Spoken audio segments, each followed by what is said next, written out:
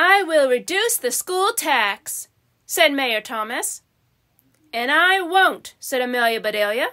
Our schools need more tax, especially thumbtacks. You tell him, shouted the crowd. My goodness, said Mrs. Rogers. They are fighting like cats and dogs. Hist!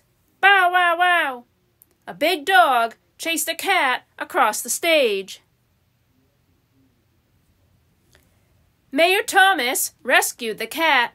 Amelia Bedelia grabbed the dog. Good job, said Mayor Thomas. You mean that? said Amelia Bedelia. I sure do, said Mayor Thomas. You prove that you can be the dog catcher. I take back what I said. I apologize to you.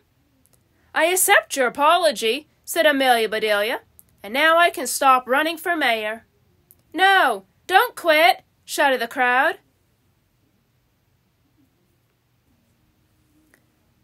Listen to me, said Amelia Bedelia. I said I would run for mayor unless Mayor Thomas took back what he said. He took it back. So now I don't have to run any more.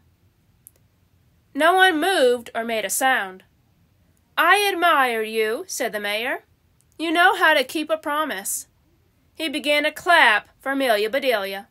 Then the whole crowd joined in.